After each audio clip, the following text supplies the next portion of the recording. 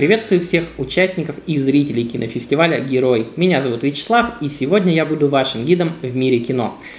У нас сегодня творческая встреча с режиссером-мультипликатором Константином Бронзитом. Здравствуйте, Константин. Привет, друзья. Привет, угу. кинозрители фестиваля «Киногерой». Прекрасное мероприятие. Жаль, что я не могу быть с вами просто по здоровью. Мультипликация меня довела до того, что я все меньше езжу по фестивалям, да. Борюсь со своими болячками. Вот так, друзья. Поменьше уделяйте время мультипликации и вообще берегите здоровье. Очень интересное вступление. Я на самом деле хотел, хотел начинать задавать вопрос с, другого, но хорошо, тогда пойдем немножко не по порядку. И первый мой вопрос будет такой. А вы много раз в различных интервью говорили о том, что вы не понимаете такого выражения, как муки творчества, то есть вам это не близко. А можете как-то это прокомментировать, объяснить? Надо же, вы как бы исследовали бэкграунд мой, да, читали интервью разные, надо же, не ожидал. А, да, могу, конечно. А, смотрите, просто э, в принципе не люблю слово творчество, никогда не любил, потому что с ним слишком много разных э, таких каких-то совершенно лишних коннотаций сегодня связано. Вот, поэтому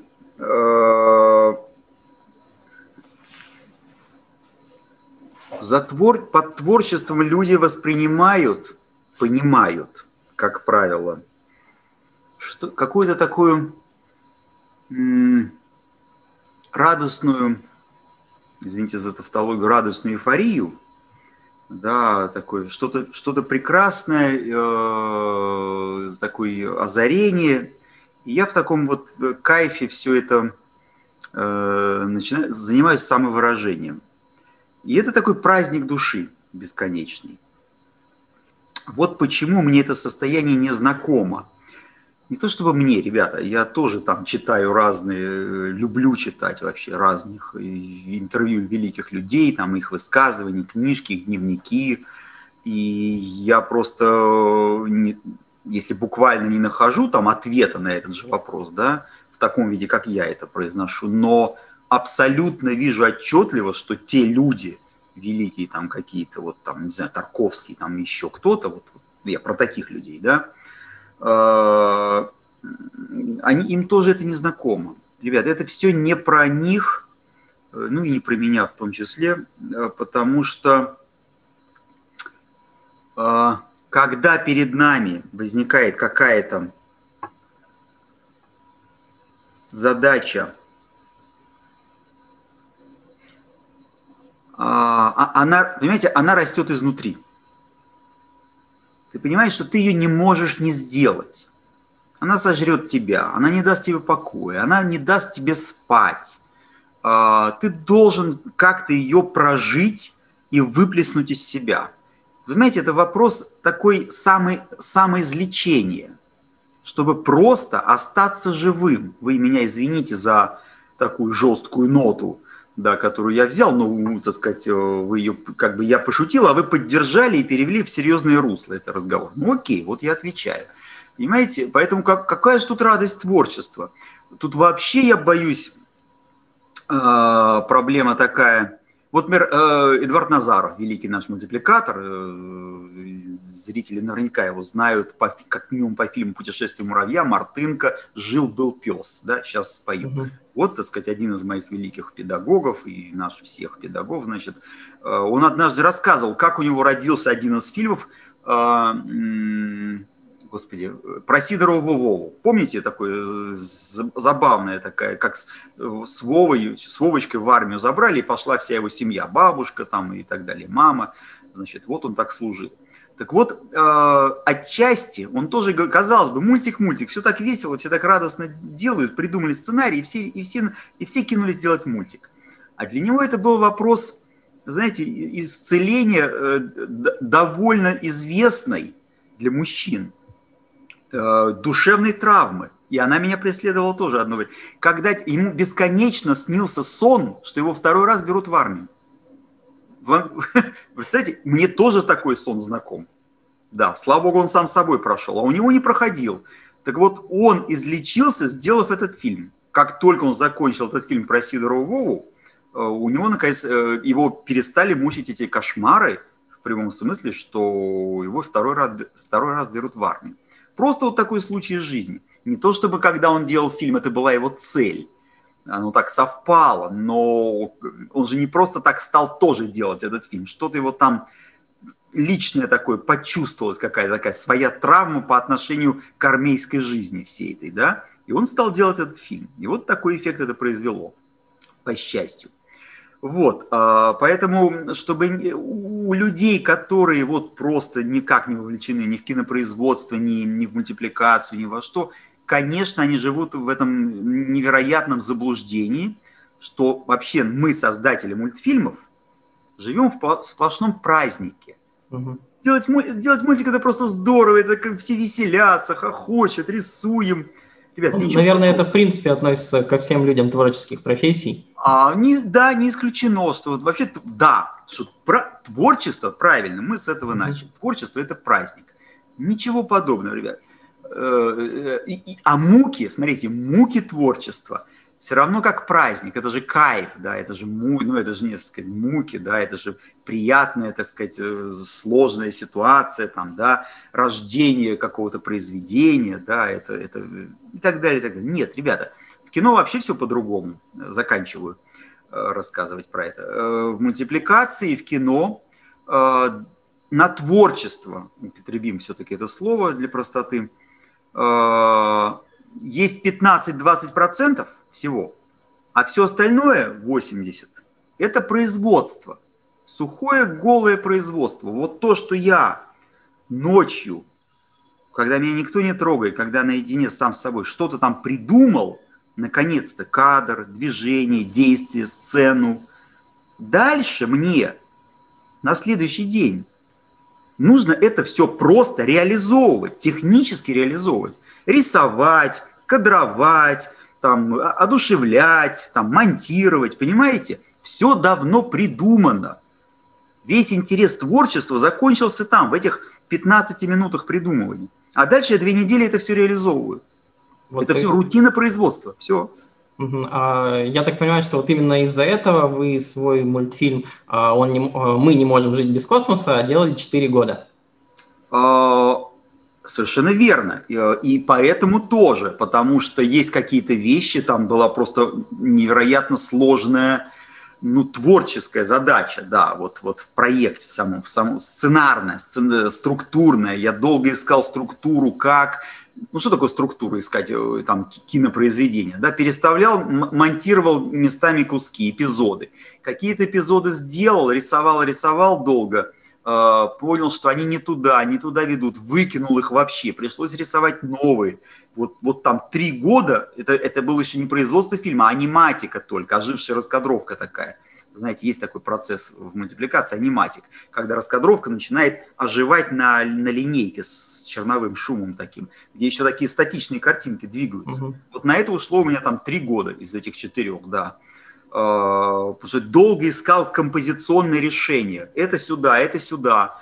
Там сцена с завтраком была у меня э, ближе к началу, потом там ближе, потом в середине, ближе к середине ушла в, мон, в монтаже. Ну и так далее, и так далее. И это была пытка, понимаете, потому что ты с этим засыпал, ты с этим просыпался. Сцена придумана. Вот она, она уже нарисована, в, так сказать, в черне. Это, допустим, сцена завтрака.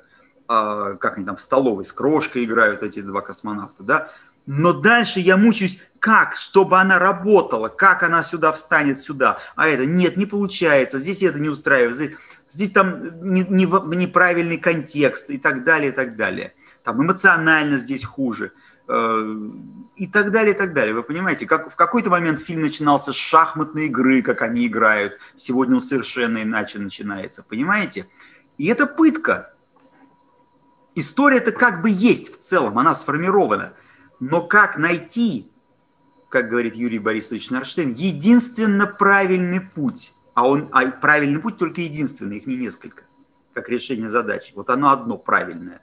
Как, чтобы выстроить эти фразы, монтажные фразы, да, эпизодики, сценки в нужном, единственно правильном порядке. Вот над этим и бьешься. Давайте так теперь, наверное, пойдем немножко по другому пути. А, я должен обязательно сказать, что вы на нашем фестивале представляете два фильма. Первый это полнометражный анимационный фильм а, «Три богатыря и наследница престола», девятый фильм вот этой богатырской серии. И давайте вот немножко поговорим, собственно, про богатырей. А, а начнем мы издалека, самой первой работы с Алешей Поповича и Тугарина Змея, которую тоже режиссировали вы и также принимали участие в написании сценария. Так вот, первый мой вопрос, может быть, покажется немножко странным, но тем не менее – а, насколько я слышал, что на тот момент студия Мельница, да, которая как раз, на которой как раз создавались эти анимационные фильмы, а, находилась, так скажем, не в лучшем положении. И мультфильм об Алёше Поповиче был для них, можно сказать, последним шансом. То есть таким вот фильмом, который должен спасти студию от какого-то краха. Вот сейчас у меня появилась возможность напрямую спросить человека, который причастен к производству, так ли это, какая вообще обстановка тогда была в студии. Ну, смотрите, э, может быть, там слово «крах» жестковато, конечно, но ситуация была, опять же, ребята, не творческая, а чисто производственная. Вот видите, опять мы все равно туда же. А, студия уже по тем временам была довольно большая. Там делался сериал, да, э, сказать, э, какой-то там для НТВ канала. И вот пел, первый полнометражный фильм э, «Карлик Нос» был сделан. То есть это было довольно мощное производство. Это, это много народу. Так вот у руководства на тот момент э, произошел провал по проектам. Но не было проекта достойного который можно было бы запускать. Ну, не, не, не лябы, не абы что делать, да, э, а все-таки что-то достойное, потому что мы же будем тратить там год-два жизни, чтобы сделать как, какую-то приличную вещь, да, чтобы не стыдно было. Ну, всегда так рассуждают люди, да. И такого проекта не было, ну, ни сценария, ничего, не подверг, ну, вот не, не нашлось э, в тот момент. А, а, а вся остальная работа заканчивалась или уже была закончена. Чем это чревато для производства? Люди сидят без работы.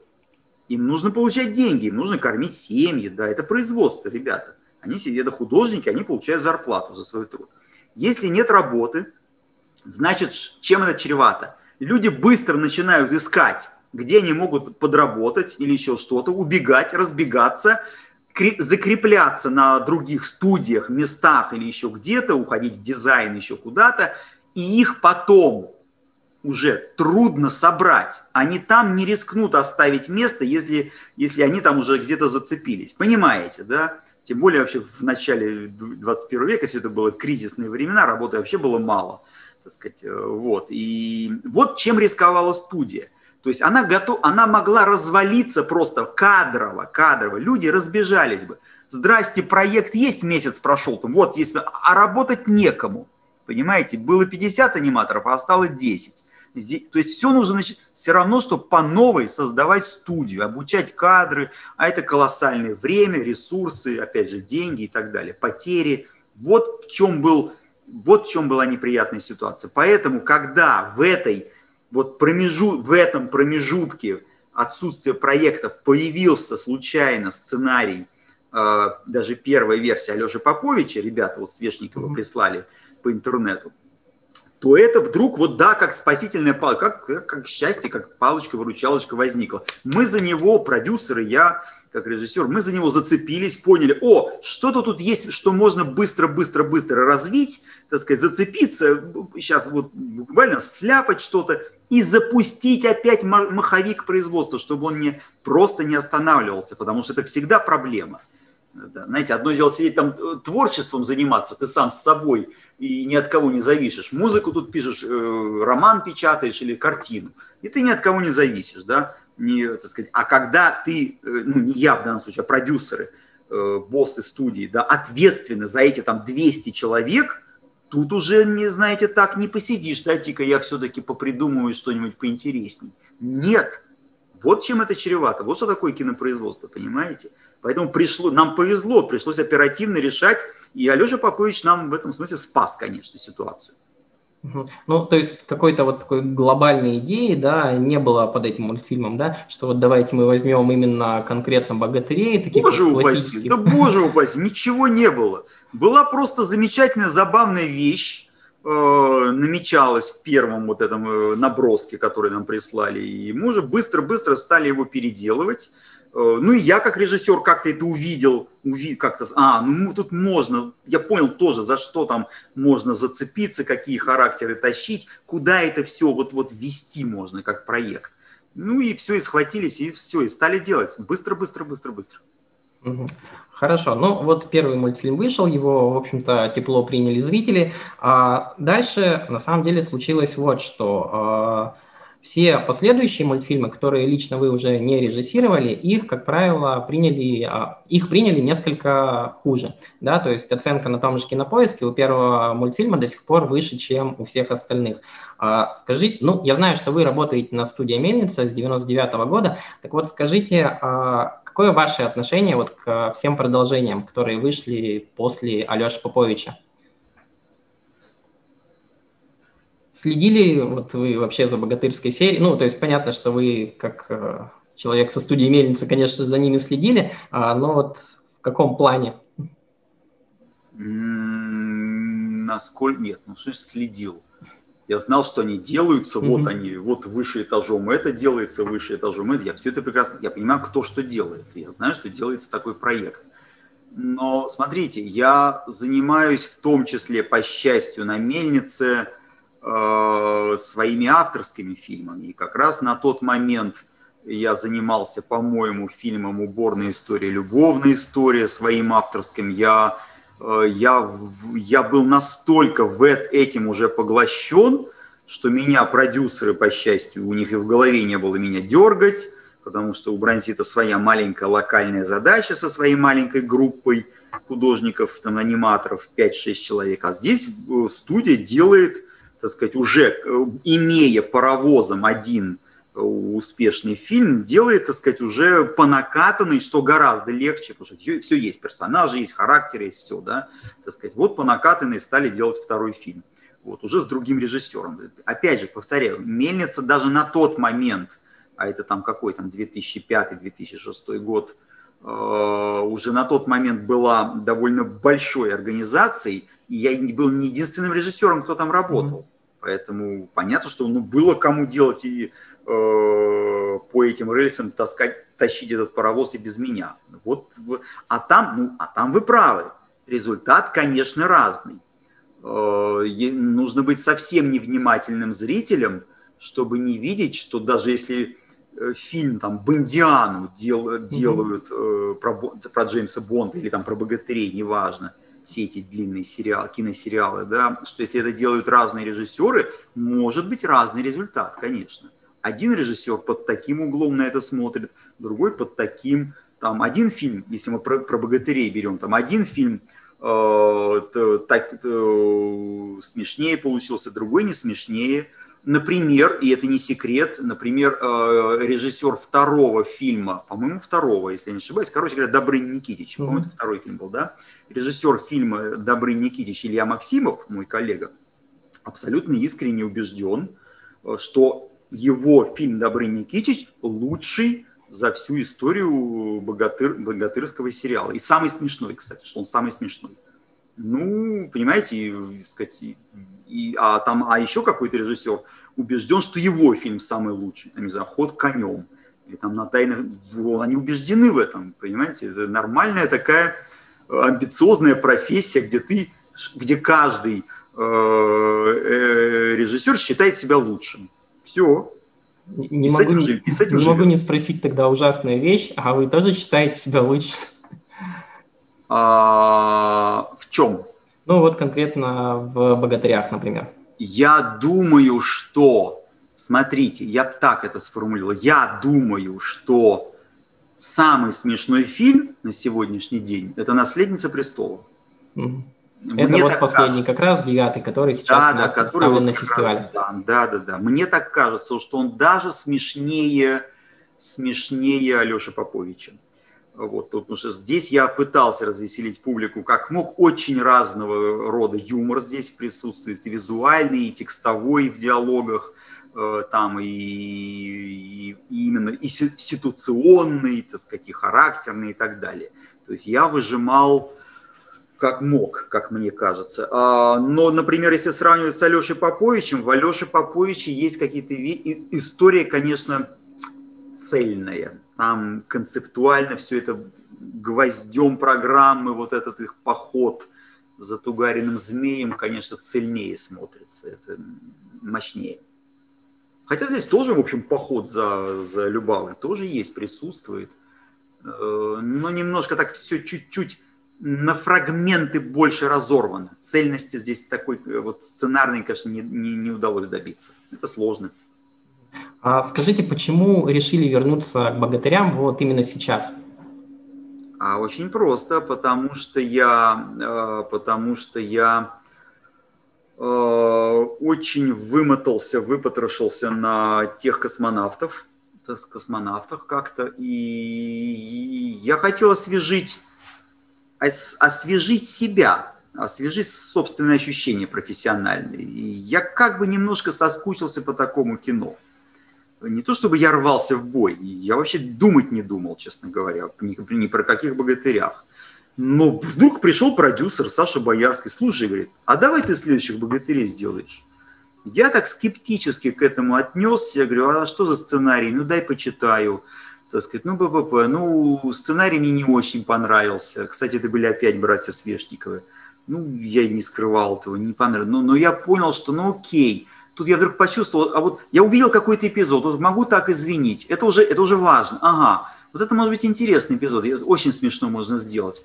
И когда меня что-то зацепило, что я почувствовал, что здесь можно поиграть, и это интересно, я что-то увидел визуально, да, вот там внутри, внутренним кинотеатром, оно вот так, как комок начало, и я так сказал, ну давай, давай, все равно позади были космонавты, ничего авторского пока не предвиделось, по счастью. Я думаю, ну давай, почему нет? Давай.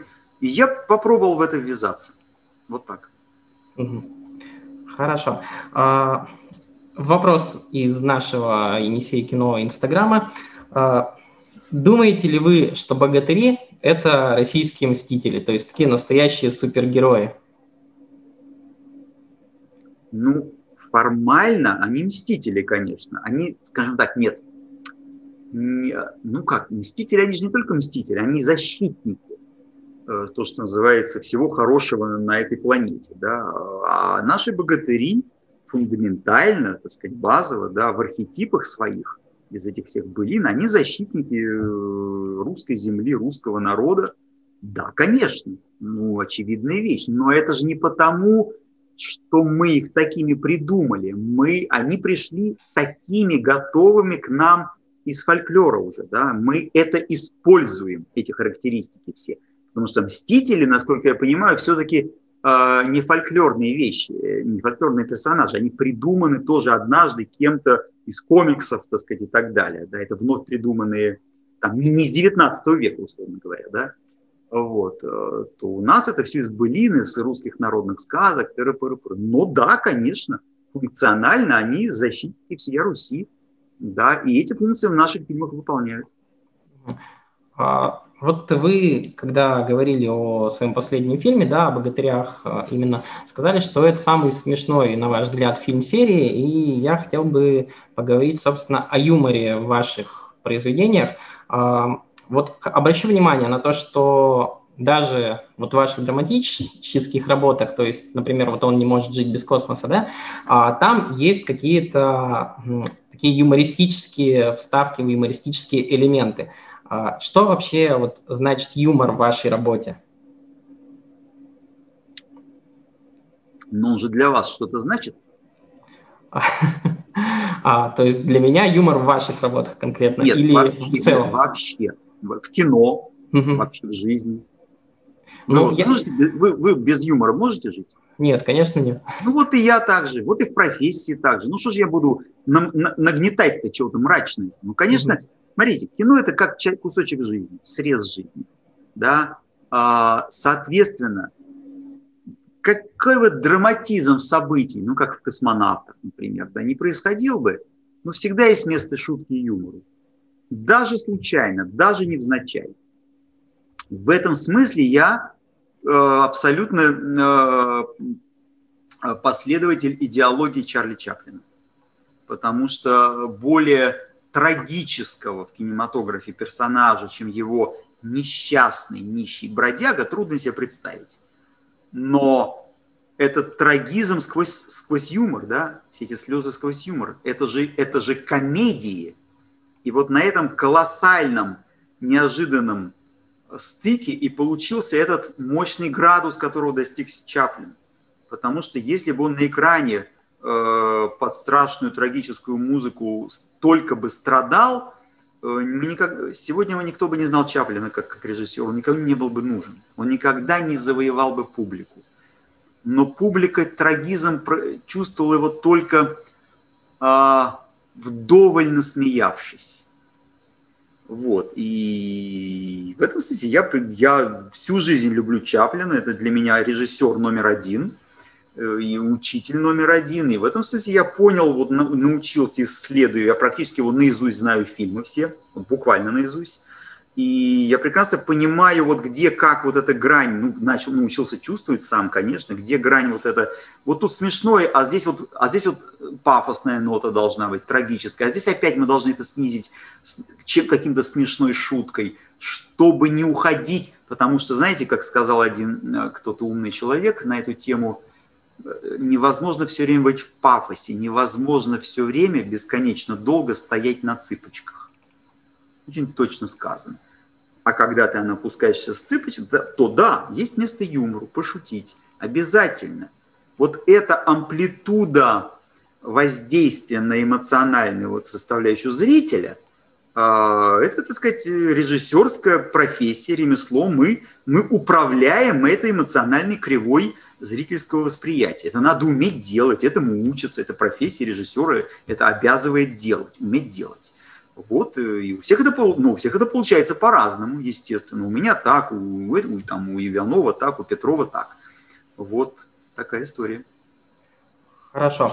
А, заговорили о космонавтах. Давайте немножко продолжим на эту тему.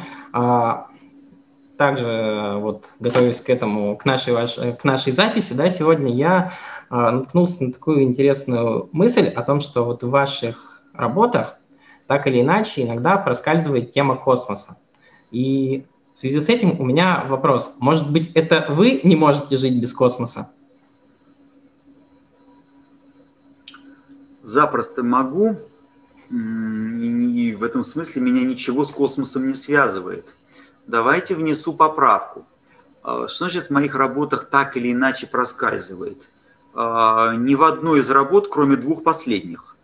Две последние действительно все события происходят, э, так получилось, на фоне космоса. Да, это ну, я имел в виду там звездное небо, например, которое появляется в кадре. Но это же не только у меня. Да. Uh-huh. Опять же, ну, опять же, я даже пытаюсь вспомнить, а где там звездное небо в, в уборной истории звездного неба, неба нету, а, ну, в божестве да, нет. нету, да, в, в, в коте лисе, в коте лисе есть, ну, ну, просто потому что там ночь настает, так сказать, ну, что там еще? А, ну, ну, на краю земли с домиком этим, mm-hmm. ну, просто там, просто потому что по факту ночь, ну, как ночь без звездного неба изобразить, понимаете? Ну, э, это, знаете, у каких режиссеров только это не случается, да, это же есть день, а есть ночь. Э, поэтому в этом смысле ничего экстраординарного я не делаю по отношению к космосу. Это я вот к этому, да. Но так, смотрите, но дальше вот какая вещь. Я запросто, э, вообще два моих фильма, и вот который второй вот сегодня в этом, в этом году в конкурсе короткометражек, да, «Он не может жить без космоса», уже про одного космонавта, они оба, что тот, что этот фильм, они не про космос, они не про космонавтику, они не, не про любовь к этому пространству, которому любви никакого не может быть, там нечего делать. А вообще пространство космоса чуждо человеку. Если уж мы там нечего человеку делать вообще. Вот его место здесь, дом на земле. Здесь нам комфортно, при солнце и зелени. Вот. А там холодно и неуютно, и одиноко тем более. Но из-за того, что первый фильм я как раз вот то, что я произнес, я делал про одиночество, угу. не про дружбу, как многие думают поверхностно, смотря на историю, а про одиночество. Я, а, кстати, то, как раз... То, а, что, что? А, да, как раз хотел у вас узнать насчет вот этой темы одиночества, да.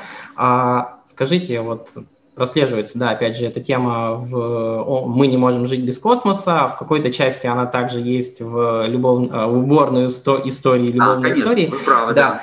А, собственно, вы считаете, что одиночество человека – это плохо? Или как? А, ну, если так, совсем вот так отвечать в лоб на вопрос, да, э, конечно, плохо.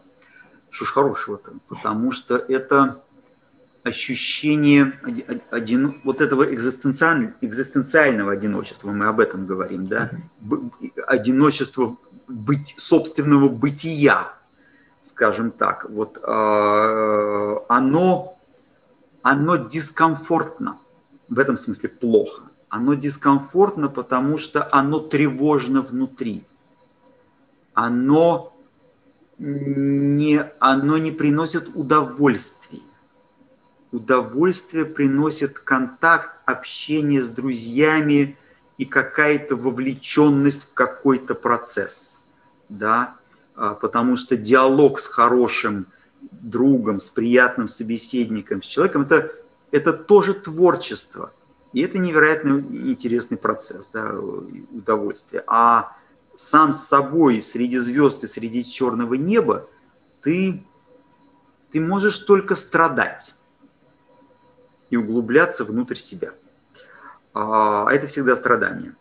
А, и вот я возвращаюсь к тому, да, так вот почему космос, да, не потому что мне, мне радостно про космос, замечательно про космос делать, да, да провались он пропадом, но потому что я понимаю, что фильм будет про одиночество, поэтому всплыла тема космоса. На его фоне я покажу одиночество, я тогда думал как режиссер, да, я покажу одиночество как ни на каком другом фоне.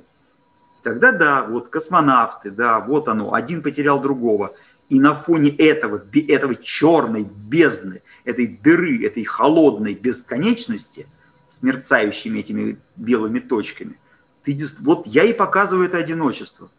Он потерял друга, он потерял все. И его здесь уже ничего не держит. Вот что меня интересовало в том фильме, а не космос сам по себе. Провались он проводом, повторяю. Отлично. Ну ладно, черт с ним с космосом, но мы все равно продолжим еще про космос, а, собственно, Конечно. про новую картину, про «Он не может жить без космоса». А, вы говорили, ну, в том числе и вы тоже говорили часто в различных интервью о том, что вы а, родились с карандашом в руке. И фильм «Он не может жить без космоса» называли автобиографичным. Вот ну, расскажите об этом. Да, отчасти, да, конечно, да. И в смысле, в смысле вопрос-то в чем, извините, перебил? А, ну, то есть а, вы как бы а, главного героя, можно сказать, вложили часть своей истории. То есть он, подобно вам, как вы родились с карандашом в руке, да, а он родился в скафандре. То есть его предназначение вы все было... Рассказали, стать... Вы все рассказали про фильм, все. Можно не смотреть. Да. Это правда. Это, это, это фильм уже не про одиночество, в буквальном смысле, а про судьбу, про предназначение. Совершенно другая тема. Но просто так совпало, да, опять же, предвижу вопрос опять. Не потому, что я влюблен в космос. Я думать про него не думал. Я вообще думал, что я закрыл тему давно. Если бы мне понимаете, если бы я как, когда закончил тот первый фильм «Мы не можем жить без космоса», и мне сказали бы, Бронзит, ты будешь следующий авторский фильм делать опять про космонавта, про космонавта, я бы сказал, ребята, вы что вообще, обалдели, это исключено полностью. Я закрыл для себя, я прожил ее 4 года, хватит, вот тут. Но понимаете, вот опять, процесс, процесс творчества неуправляем. Это еще одна его сложность, что не приносит удовольствия. Ты не знаешь, где, в какой момент, какая зараза в виде идеи в тебя вползет и поселится в тебя и ты будешь от этого страдать. Так получилось, что вдруг во мне поселилась опять идея про космонавта, но она была уже про другое, про вот эту, про судьбу, про неизбежность эту. Ты родился тем, кем ты будешь, тем, кем ты родился, кем ты должен быть. У тебя нет выбора. И это и счастье, и крест. Ты должен, ты будешь, и ты это сделаешь, несмотря ни на что. Как бы тебя кто здесь не оберегал, не, не прятал от тебя, там, так сказать, э, твой костюм или твой чемоданчик.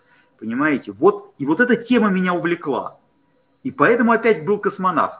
Понимаете, э, э, родиться можно и инженером, но мы же как мы же даже даже допустим как режиссеры я даже обобщил не надо быть режиссером чтобы понимать что в мультипликации показать инженера не так эффектно чем как космонавта правда ну вот просто в силу такой профессии его поэтому конечно космонавт да, конечно, судьба быть космонавтом. В, в этом весь трагизм. Опасно, страшно, далеко, высоко, холодно. Знаете, он от мамы летит в космос. Это одна эмоциональная ситуация. А от мамы идет э, в соседний офис э, инженером работать. Это другая эмоциональная ситуация. Понимаете ведь, про что я? Да? Угу. Поэтому опять космонавт.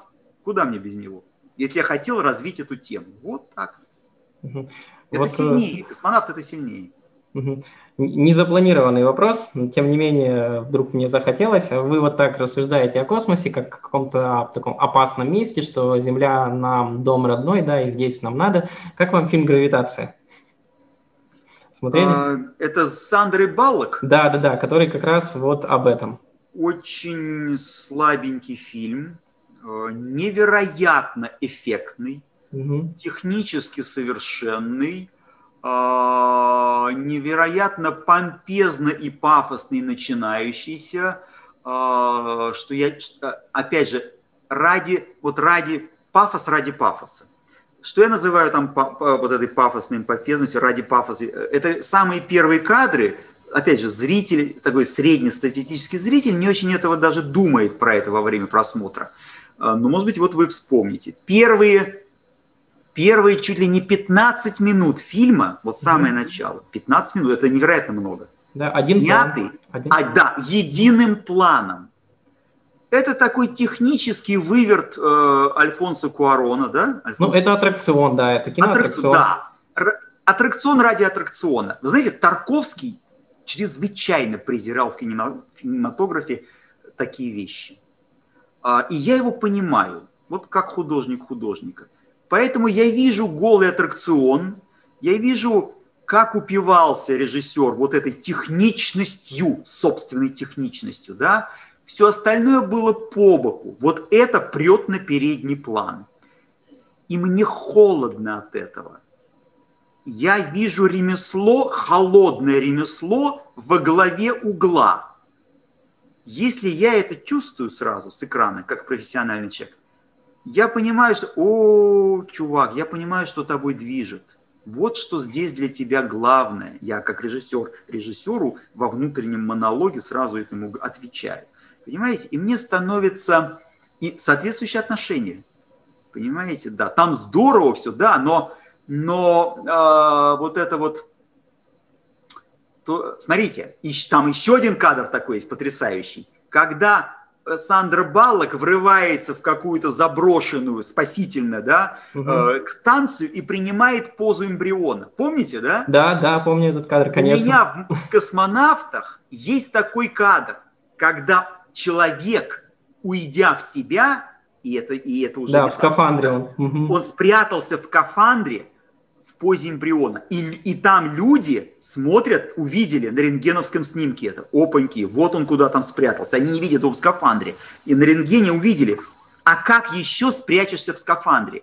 То есть это единственно, ну, опять же, метафора, да, но это единственный способ, если вообще так, да, как еще? Вот так вот он, он спрятался там, как, как эмбрион в скафандре. И, и извините меня, по-моему, это гениально. Это по делу, у меня по делу. Без этого кадра я не смог бы показать развитие психологического э, состояния моего героя, как ему там одиноко. А как учил Станиславский? Секунду, это важный момент, заканчиваю. Как учил Станиславский нас всех, не только меня, всех, да? Э, верю, не верю. Я должен верить в состояние персонажа. Так вот, я не верю в состояние Сандры Буллок, когда она ворвалась там в этот... Э, У меня простой вопрос, ребята. Она почему там свернулась в позу эмбриона? Ставим себя на ее место. Просто. Она врывается в это, да, закрывается собой. Мы люди, как мы себя? Господи, спасся. Слава Богу, еще отдышаться. Страш, пережил самое страшное на краю. Все, все, так, осмотрюсь, так, что я, где я, так, пойду внутрь. Вот мое состояние, в которое я поверил. И я в результате, понимая это, вижу искусственность этой позы. Она для красоты кадрика, для красоты Альфонса Куарона становится в эту позу. Не пристегнута, не пришей, не пристегни к ситуации. Эта поза никак не растет из ее состояния. Вообще связи внутренней никакой. Красивый кадр ради красивого кадра. Выдающийся режиссер сделал бы, вот как он мог бы его снять, но что он обязан был сделать? Ножницами в конце взять и выкинуть его к чертовой матери, этот кадр. Вот что выдающийся режиссер должен был, был сделать с этим кадром. А он его оставляет, потому что он прется от этого. О, кайф, эмбрион, какая красивая метафора. Вот о чем я говорю. На самом деле, я очень во многом с вами согласен по поводу да, этого я, Это даже не высшая математика, спасибо, да. очевидную вещь говорю. Просто зритель про это не думает. Он покупается на эту метафору, ой, как здорово, это как красиво. Она в него торкает. Ну, это такое эмоциональное восприятие. Куарон прекрасно это понимает. Он понимает, с чем он, за... с чем он заигрывает. Конечно. Здорово. Ну, правда, отлично на самом деле. А, давайте вернемся теперь к анимации.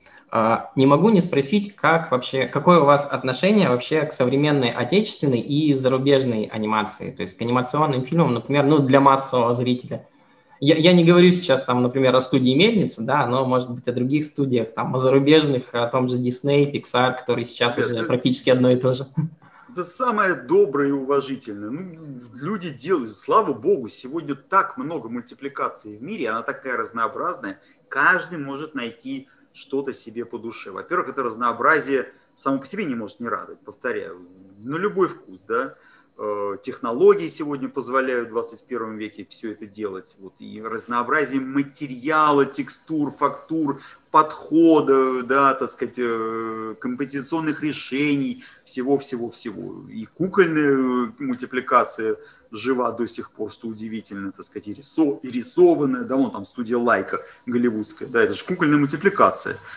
Поразительно, да. Кстати, многие воспринимают ее за трехмерную. Вот это вот Э, господи, ну, к примеру, там, труп невесты, да, э, кошмар перед Рождеством, это же кукольная мультипликация, честно все. Вот так ручками по кадрикам двигают люди. Невероятно просто. Э, искусство мультипликации вот просто достигло апофеоза. Истории какие они прекрасные делают. Я, один из моих любимых фильмов недавних оттуда, это «Зверопой» вот где вот этот, кто там, Барсук или кто там его теряет театр, да, все катастрофа, хочет конкурс. Это абсолютно такой гениальный мюзикл с потрясающим кастингом э, набора вот песен этих, да, музыкальных номеров, так сказать, э, со всеми хитами этими. Они, это невероятно свежо, это, это по-человечески цепляет эмоционально. Ты, ты сопереживаешь всем – там, при том, что там нет отрицательных персонажей. И то так временно отрицательно, это там мамаша, вот эта певичка, так сказать, этого там одного из персонажей, да, который в конце концов им помогает, суперзвезда вот этого. Да, и то она, так сказать, потом оттаивает и включается в это действие, в этот спектакль. И, то есть все хорошие, но это прекрасно сделано, ты переживаешь, и это смешно, и опять же вот этот баланс трагедийности и, и смешного, так сказать, там всегда у них найден. Мне очень нравится суперсем... суперсемейка, но сказал суперсемейка не ошибся, а имел в виду э, семейка Круц DreamWorks. Ну, вот жду с нетерпением, вроде э, в эфире было, что выходит вторая часть. Да, должна, должна выйти, вот. но, по-моему, ее в очередной раз перенесли. Ну, по счастью, мы ее увидим однажды. Да, она конечно, есть. конечно. Да, вот она, да. И, потому что первый фильм мне невероятно понравился, так сказать, и запал. И и тут, тут много примеров, ребята, можно привести. Все хорошее, все хорошее. Очень хорошо. А, И отталкиваясь от этого, тоже не могу не задать такой вопрос. А что лично для вас вот главное в работе мультипликатора? Может быть, что-то нужно, не знаю, иметь в самом себе, чтобы работать мультипликатором? Ну, тут можно, тут, наверное, только ленивый на моем месте режиссер, мультипликатор, не процитировал бы всем нам в наших кругах широко известное, в наших кругах, э, широко известное выражение Федора Савельевича Хитрука, нашего знаменитого, выдающегося режиссера советского, российского. Да? Он говорил, как мультипликатору нужна чугунная задница. Да, конечно, это его выражение известное, да. И он абсолютно прав. Речь об усидчивости. Вот просто железной попой вот этой ты ничего не возьмешь. К сожалению, такая профессия. Кстати, опять про отсутствие праздника. Ну какой тут праздник, понимаете? Ты во вред своему здоровью бесконечно сидишь вот целый рабочий день, а то и больше, а то и ночами, как я вот всю жизнь, знаете, чтобы побыстрее же хочется сделать, не тянуть же там 6 лет, а 4 хотя бы, да, года. Поэтому ты сидишь каждый день ночью, так сказать, вот там до, до глубокой ночи. Вот сидишь и рисуешь, монтируешь, сидишь, и ты сидишь, ты все время сидишь, сидишь, у тебя затекает спина. Ну, понимаешь, да, вот, понимаешь, вот ты устал, вскрючившись все это и так далее, и так далее. А вы говорите радость творчества. Нет, это немножко, это, это болезненное состояние, ребят, это болезнь. Но без этого я боюсь, как в любой профессии, без чего без этого? Без этого стопроцентного включения в процесс ничего не получится. Вот так. Хорошо. А теперь перейдем к такой теме. Вы два раза номинировали, два же раза, да, номинировались а, на премию да. «Оскар». Да. Вошли в шорт-лист. Первый мультфильм – это была «Уборная история». И Сейчас, второй... не, не путайте, ребята, шорт-лист – это шорт-лист, да, а, шорт... а номинация – это номинация. Шорт-лист ага. предшествует номинации. А, угу, угу. Это разные вещи, да. Вот мой три, вот этот фильм не дошел до номинации, но вошел в шорт-лист. В десятке был. Ага, не хватило ма- вошли малень... в шорт-лист, да, а два в номинации. Да, да, да, да. Угу. А вот маленького шажка с третьим не хватило, к сожалению. Угу. И вот второй фильм был э, «Мы не можем жить без космоса». Да. да. А, скажите, вот что для, вот как для вас было попасть на Оскар? То есть каково это? Какая там атмосфера вообще? Может быть, с кем-то виделись, говорили, пока были там? Виделся со всеми, с кем только можно было на тот момент видеться, ребята. Ну вот просто. С кем встреча запомнилась больше всего? Запомнил с, с Джоном Лассетером. Угу. Интересно было. Да, это на тот момент глава студии Pixar, да, да? глава Pixar. На тот момент, да. Я застал этот момент, по счастью, да. Он мне отдал, дал прекрасный автограф, так сказать, нарисовал своего этого вот этого, как он в скафандре, это тоже, кстати, своего персонажа из истории игрушек. Бак, Бакс. А, ба, да, да, Бас, да, да, да, да, нарисовал, да, да. И, э, ну как, приятно было подойти, перекинуться, буквально перекинуться парой слов и к Мэтту Деймонду, и к Сильвестру Сталлоне, и к Леди, к Леди Гаги, и к Леонардо Ди Каприо. Все это у меня вон, в Инстаграме, там несколько фотографий я выбросил, mm-hmm. так сказать, да, хотя фотографий гораздо больше – ну, я это не очень люблю просто постить, поэтому, ну, вот. То, то есть, э, смотрите, отвечая на вопрос. Это праздник. Ну, конечно, это праздник. Это праздник кино, э, праздник кинематографа, э, пусть даже коммерческого. Оскар – это коммерческая награда, надо понимать, прежде всего коммерческая награда все-таки, да. Он там приветствуется коммерческий успех и так далее, да. И ты вдруг вовлечен в эту игру, ты этого вообще не планировал, не предполагал, даже не смотрел в эту сторону. Но вдруг ты я, но у тебя возникает ощущение, что ты сделал действительно что-то такое, ну, ну экстраординарное. И, так сказать, из ряда вон. И тебе посчастливилось, тебя выбрали. Сегодня вот билет попал, так сказать, в, там, или там в лотерея попала в тебя. И это, и это здорово. Я, я желаю каждому пройти однажды такое удовольствие, потому что в этом смысле там надо сказать, что несмотря на малый формат, какая-то там короткометражная анимация, да, что там это мы ряд, рядом с большим кино и с большими этими звездами, так сказать, кинематографа, да, но, но там в этом смысле никакого в самом мероприятии, никакого э, уничижения вот, вот этого э, иерархии профессий и там, жанров, этого нету ничего. Ты абсолютно на равных вот здесь и сейчас присутствуешь, и вокруг тебя точно так же пляшут, как вокруг там э, Леонардо Ди Каприо. Ты такая же звезда, вот как минимум, ну, на эти там несколько дней, часов, там, понимаете? сколько ты там находишься, сколько там целый ряд мероприятий по этому поводу есть, так сказать, они каждый замечательно, куча встреч, обедов, приемов, и это все, ребята, реально искренне пра- весело, праздник, у всех праздник, это праздник профессионалов. Вот, поэтому все реально рады, искренне улыбаются, все счастливы, кто туда попал. Поэтому это здорово. Э, подчеркну второй Э, второй Оскар, вторую, вторую номинацию. Это, вот это было немножко другое ощущение, а, э, чуть более сложное и важное для меня было я, я вдруг понял, что э, это второй раз вообще это много-много-много раз еще лучше, потому что я оказался, я, значит, оказался там не случайно. Знаете, как говорят спортсмены, стабильность – показатель класса.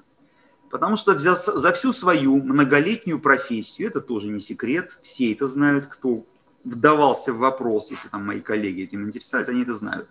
Я за свою многолетнюю профессию, многодесятилетнюю 30-летнюю карьеру, увидел такую тенденцию. На Оскар, как на любую другую э, э награду, можно попасть запросто случайно. Запросто. Сна... Ну, ну, так сошлись карты, скажем. Так вот, такой год, тыры-пыры, там, что-то где-то там повезло, удача, как без этого, да? И можно быть не самым сильным фильмом. Вот, потому что год не выдался на самые сильные фильмы, допустим. И можно там оказаться. Больше скажу, случайно можно отхватить эту награду. И что потом происходит? Я наблюдал такую картину. Человек, человек, человек попадает в номинацию, получает Оскара – а потом почему-то исчезает навсегда. Мы не видим ни его, ни его следующих фильмов. Куда эти люди все растворяются? Ты же режиссер, ты, ты что с тобой стало? Ну окей, ты завязал, ты завязал с кинематографом, закрыл тему. Ну окей, может быть, но как-то уж больно часто все закрывают тему с кинематографом после получения Оскара – очень подозрительно как-то это. Или наоборот, извините, я видел фильмы следующие, видел, но они были такие слабые. А ты понимаешь, у человека Оскар. Ну надо же как. А вот такие следующие слабые фильмы. Режиссер-то не очень. И когда я попал вот второй раз, я понял, что, о, вот второй раз это уже не случайно. Первый раз я запросто точно так же мог относиться себе как к случайному э, человеку на этом празднике но второй раз случайно, с другим совершенно фильмом, совершенно другим фильмом, да, так сказать, идеологически другим, вообще, да, э, вот это уже серьезно, значит, я чего-то стою как режиссер. Вот такая история. А, скажите, вот что-нибудь, а, участие в «Оскаре» и в, и в других престижных кинофестивалях, я, например, знаю, что а, у вас есть премия французская «Сезар», правильно? А, тоже номинация. Номинация. Да, номинация. Даже знать, да, номинация была еще до Оскара, номинация на Сезара была. Угу. Пролетел тоже. Пролетел. Угу.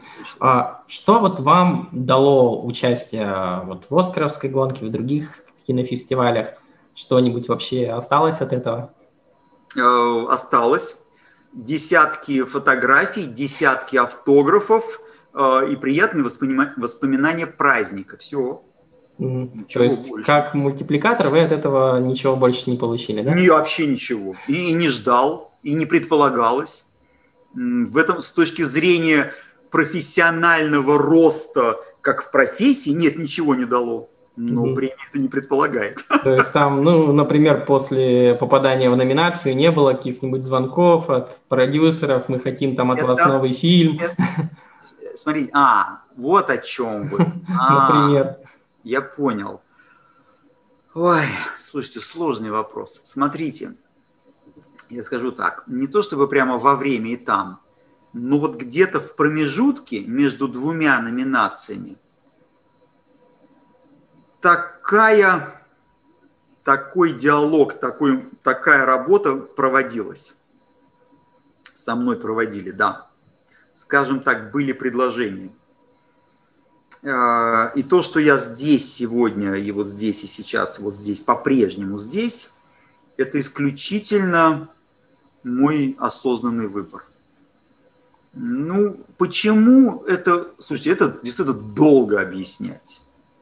Дол, долго там столько всего вот этого слоев, причин, подводных течений, за, против, плюсов, минусов, что взвешивая все это, кстати, недолго взвешивая все это, э, я все прекрасно понимал. Даже когда велась на уровне переговоров, я это все сидел там в кабинетах, в которые иные пытаются попасть и не, по, и не смогут попасть, а я туда вошел вдруг случайно в эти кабинеты, и меня слушали, и мы говорили.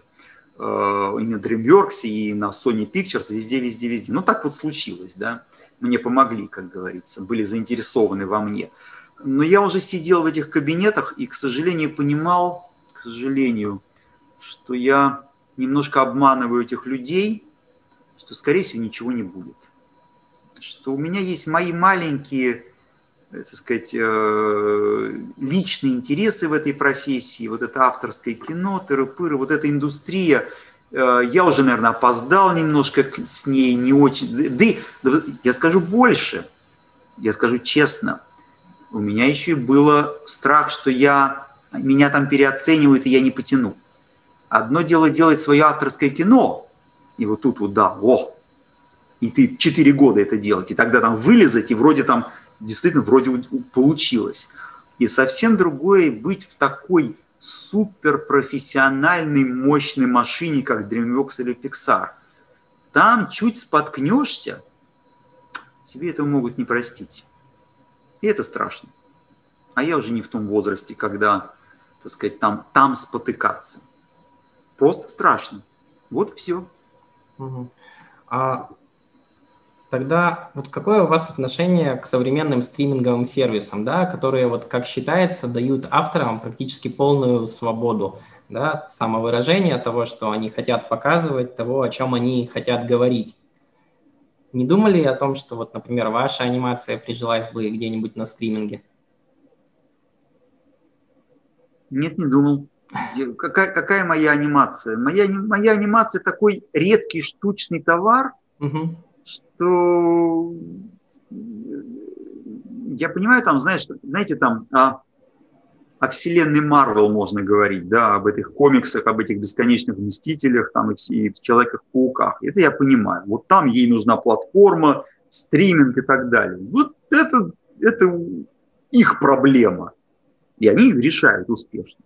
Я-то тут при чем? Ну, да, Меня так, знаете, в, в сетку вещания вставить незаметно, пройдет мои 15 минут фильма, и, все, кто увидел, тот увидел. Ну, хорошо, значит, вам, так скажем, вполне уютно вот в этой... Абсолютно, я не переживаю по этому поводу. Угу. Вот зрители фестиваля «Герой» увидят, и слава богу. О, отлично. ну да. А, еще один вопрос из наших социальных сетей. Что больше всего вас впечатлило вот из кино, из анимации в последние годы? А я уже отчасти про это сказал. Э, много пиксаровских работ. Э, Зверопой, Суперсемейка, Корпорация монстров. Ну, опять же, первое, да, так сказать, э, господи, Семейка Круц, много чего, всего и не упомнишь. Много авторской мультипликации, конечно, за которой я по фестивалям, это фестивальный формат, вот здесь ее зрители увидят, короткометражная такая авторская мультипликация да, в конкурсе. Э, много есть чего цепляет, э, не скажу, что там все это там гениально, этого не так много, но есть вещи какие-то, которые запоминаются, западают, э, проникают и остаются вот таким приятным послевкусием профессиональным. Ты это исследуешь, мусолишь себе, носишь, и получаешь от этого профессиональное удовольствие. Но это как у любого ну, художника, вовлеченного в процесс. Это нормальная ситуация. Спасибо вам большое, что согласились с нами сегодня поговорить, да, выйти вот в такой э, эфир. На этом у нас вопросы закончились, возможно, к сожалению. Э, собственно, будем прощаться. Удачи вам, ребята. Ну, спасибо. Да. Да, спасибо, спасибо вам. Пока-пока. Будьте здоровы. Всего вам хорошего, успехов, удачи. И вам того же. И вам в того том числе и на нашем фестивале. Ну, там уж зрители увидят, скажут что-нибудь доброе, и уже приятно. Спасибо. Пока-пока. До свидания.